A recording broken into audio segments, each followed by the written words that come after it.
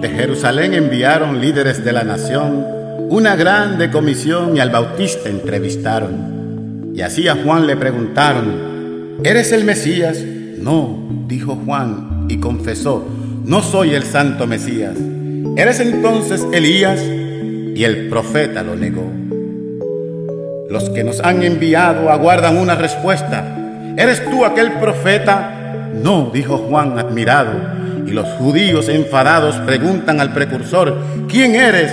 Y con valor responde Juan, soy de cierto bosque allá en el desierto camino para el Señor. Y le seguían preguntando, si tú no eres Elías, ni el profeta, ni el Mesías, ¿por qué es que estás bautizando?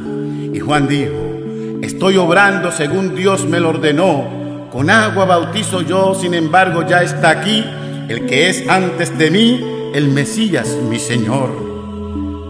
Al siguiente día Juan vio a Jesús que se acercaba y a la gente le indicaba lleno de santo fervor, miren, aquí del Señor es el Cordero Sagrado el que quita los pecados del mundo. Él viene tras mí, el Espíritu yo vi sobre este hombre posado.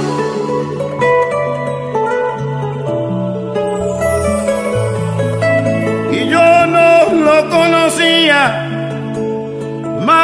para que fuese hallado y a Israel manifestado.